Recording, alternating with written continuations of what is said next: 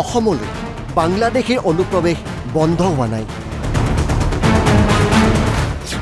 প্ৰতিদিন অসমলৈ আহি আছে বাংলাদেশী।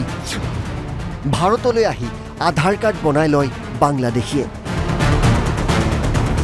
অসমৰ বাবে এখন শুদ্ধ এন আৰ চি বিচাৰি মুখ্যমন্ত্ৰী হিমন্ত বিশ্ব শৰ্মাই অসম তথা ভাৰতলৈ বাংলাদেশী অনুপ্ৰৱেশ ঘটিয়ে আছে বুলি বিস্ফোৰক স্বীকাৰোক্তি প্ৰদান কৰিছে।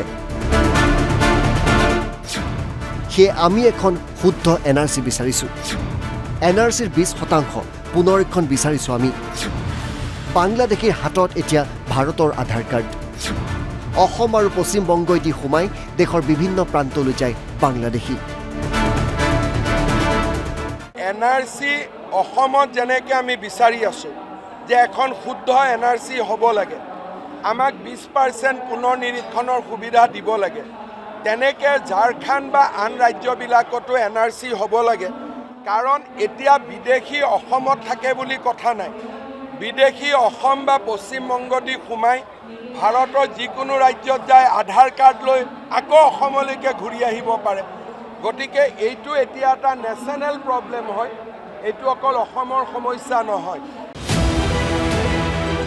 চুবুৰীয়া বাংলাদেশ অস্থিৰ হোৱাৰ পিছৰে পৰা প্ৰতিদিনে অসমত অনুপ্ৰৱেশ চলিছে। অনুপ্ৰৱেশ কেৱল এতিয়া অসমৰ সমস্যা নহয়। সমগ্ৰ ভাৰতৰ বাবেই সমস্যা হৈ পৰিছে বাংলাদেশীৰ অনুপ্ৰৱেশ। সমগ্ৰ দেশতেই এন আৰ চিৰ প্ৰয়োজনীয়তা আহি পৰিছে। এন আৰ চিক লৈ সংসদত আলোচনা হোৱাটো বিচাৰোঁ। প্ৰতিদিনে সীমাত আমি বাংলাদেশত গণ্ডগোল হোৱাৰ পৰা প্ৰতিদিনে সীমাত আমি বাংলাদেশী ধৰি আছোঁ। তেওঁলোক ভাৰতৰ আন ৰাজ্যত যাব একৈছ দিন থাকিব আধাৰ কাৰ্ড বনাব অসমতো আকৌ ঘূৰি আহিব পাৰে।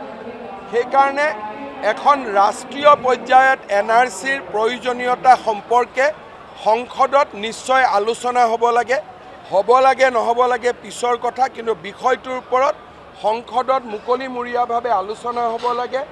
আৰু তাৰ কাৰণে বিদেশী যে প্ৰতিদিনে অসমত বা ভাৰতত সোমাই আছে তাৰ কাৰণে মই টুইটাৰত এইকেইদিন দি আছোঁ যাতে ই ৰাষ্ট্ৰীয় পৰ্যায়ত এটা বিতৰ্কৰ সৃষ্টি কৰিব পাৰে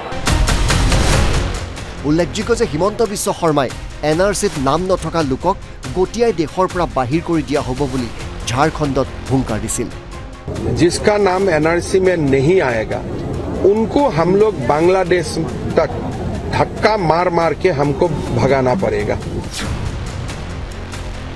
ভিডিঅ' জাৰ্নেলিষ্ট পৰাগৰ সৈতে Bichitra Rajbongshi N B news Guwahati.